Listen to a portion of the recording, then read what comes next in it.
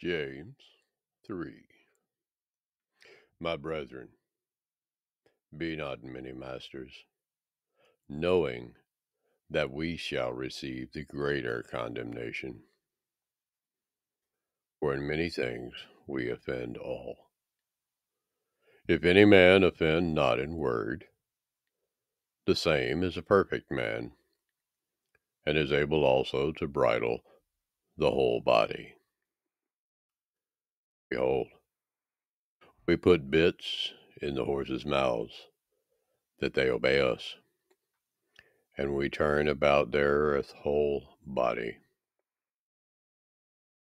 Behold also the ships, which though they be so great, and are driven of fierce winds, yet are they turned about with a very small helm, whithersoever the governor wills.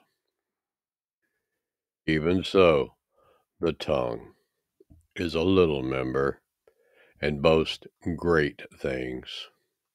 Behold, how great a matter a little fire kindles. And the tongue is a fire, a world of iniquity. So is the tongue among our members, that it defiles the whole body and sets on fire the course of nature, and it is set on fire of Gehenna. For every kind of beast, and of birds, and of serpents, and of things in the sea, is tamed, and has been tamed of mankind. But the tongue can no man tame. It is an unruly evil, full of deadly poison. Therewith bless we Yahuah, even the Father, and therewith curse we men, which are made after the similitude of Yahuah. Out of the same mouth proceeds blessing and cursing. My brethren, these things ought not be so. Does a fountain send forth at the same place sweet water and bitter? Can the fig tree, my brethren, bear olive berries, either a vine, figs? So can no fountain both yield salt water and fresh.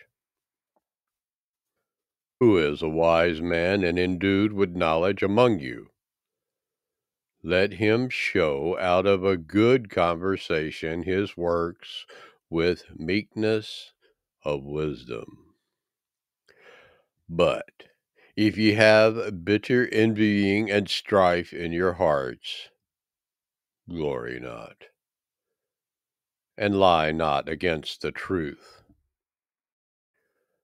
This wisdom descends not from above, but is earthly, sensual devilish.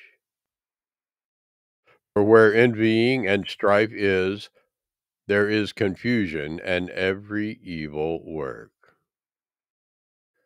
But the wisdom that is from above is first pure, then peaceable, gentle, and easy to be entreated, full of mercy and good fruits, without partiality and without hypocrisy. The fruit of righteousness is sown in peace of them that make peace.